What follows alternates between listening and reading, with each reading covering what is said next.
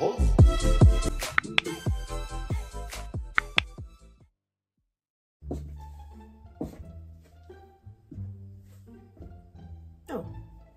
Sergeant Brave here. Reporting for duty again. So, um, looks like I finished this bottle. And, um, while I've gotten over the lotion blowout incident and while I've also gotten over the, the, the extreme ashiness, as you can see, those elbows are looking quite, um, quite spectacular. You know, I'm a big fan of recycling. Now I have to figure out how to get this lotion pump clean.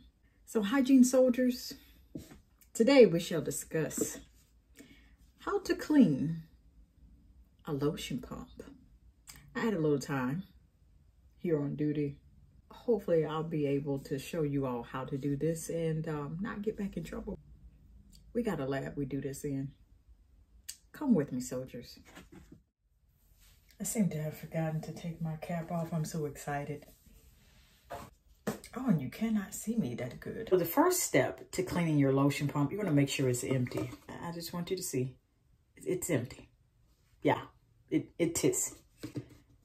And make sure you have utilized all of the lotion out of it to the point where you can only see the residue here within the nozzle. Now there's a little bit, granted there's a little bit here. And that is my EOS Peach Cobbler Maple and Peach EOS Vanilla Cashmere Lotion. And then I also have a video on how you should thoroughly rinse your lotion bottle. I've gone over that, but there's residue still in there. So what do you do? This is where the fun part starts. One of the first things you want to do is get your water going first. Don't mind the empties over there. I'm first getting the temperature of this water for it to be hot first. Okay, we've got it relatively hot where it's still tolerable. You want to let that run straight into the pump. You want to try breaking the barrier of product. Bit of focus. You want to run enough water into the pump where it breaks the barrier, there we go, of product that acts as a seal that's preventing the rest of this from coming out. We're going to do this again. Take the pump where it seems like it's stuck and it won't come out and there, that last piece of cream product stuck in the pump. Run water into it until it breaks the seal rinses out from where it's holding up everything else in the rest of the length of the pump. Now you can rewind it back if you can't catch it so you can take notes. Now what do we do when we're getting to the top portion? So we're rinsing this nozzle and we're pumping it out. You see how that's coming out? It just jumped out. I want you to watch this as it's being rinsed. And I'm not using soap and water yet. I'm not even using that. I'm not even using that. And underneath this nozzle is where regular debris from daily use, from my days here on duty. And as I'm doing this, I want you to look at the other side what's happening. It's coming out and that water is breaking through that debris in order to get rid of that lotion. We turn it over, and I want you to see the bottom. I'm pumping here, and it's coming out. So essentially what you're doing is pumping out that lotion. And there's a open nozzle here that as you run water through it, you want to pump it at the same time you're running water through it. Run, or rotate. You can see I'm rotating, kind of. Run enough water through it where it's pumping out the rest of the lotion. And you want to do that until it's gone, until you, you can't get out anything anymore. Run the water here through the top of the pump. You want to start at the bottom and break the seal of that product that's here. But once you've done that, run it through that nozzle of the pump, and you see it's just coming out so easy. It's coming out so easy. Okay, this is what we're working with. We don't have nearly as much debris or lotion in there. We've pretty much rinsed it out. We'll give it a couple more tries. And you want to keep the water hot as it acts as a way to kind of melt the lotion. Kind of heat it up to make it thinner, a thinner consistency, and melt that lotion that's in that nozzle still. And as you're pumping it, it's just using the air and the water to flush out the rest of this.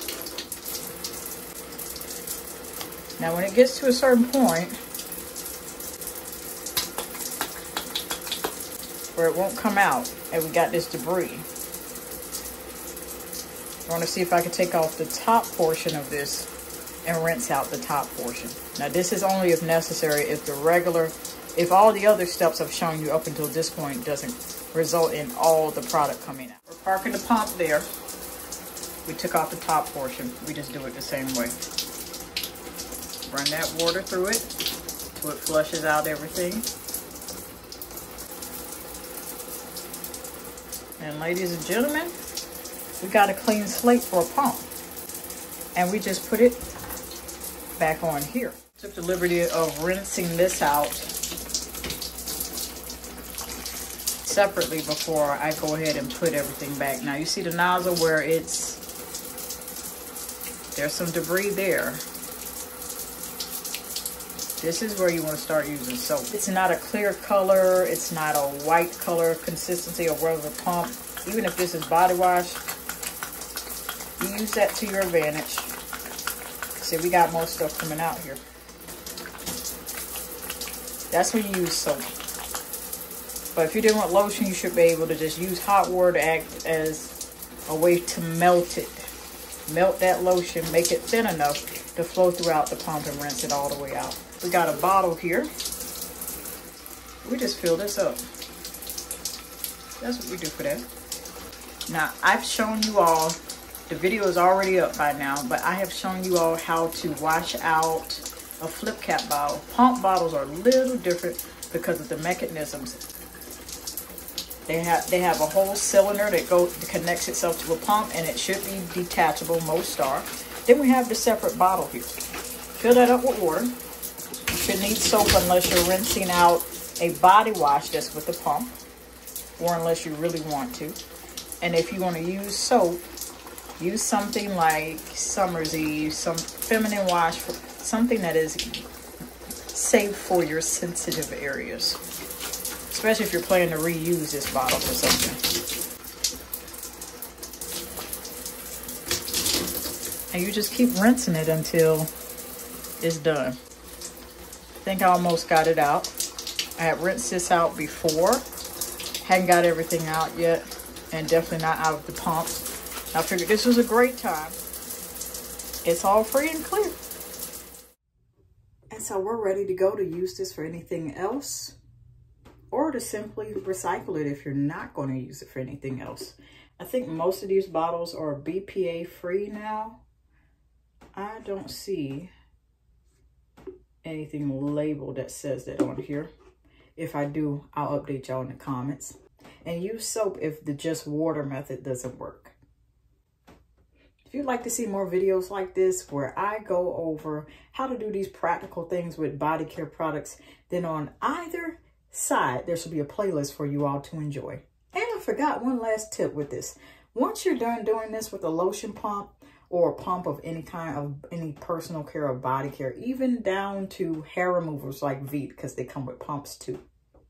Store that upside down the purpose of that is, is to let it drain out. You could do this, you could store this upside down in a shower caddy. If you don't have a shower caddy and you have a spare shelf in your bathroom, then separate a towel only for that purpose to store it upside down with other body care products that have a wider mouth jar and allow it to drain out and dry before you toss it if you're going to recycle it or before you utilize this and repurpose this for something else. Until next time, soldiers. So I'm leaving this here right quick just so we can keep in touch outside of YouTube. You'll have to submit your email, but I promise you won't get any spam. Thank you. When I think about love, it's one of the bravest things that you can do.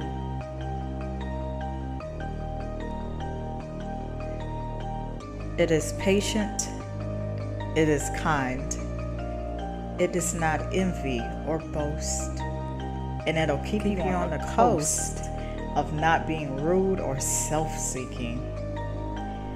Nor is it easily angered or seething mad, and it keeps no records of wrongs. It has no pleasure in evil, but it rejoices in the truth. And most of all,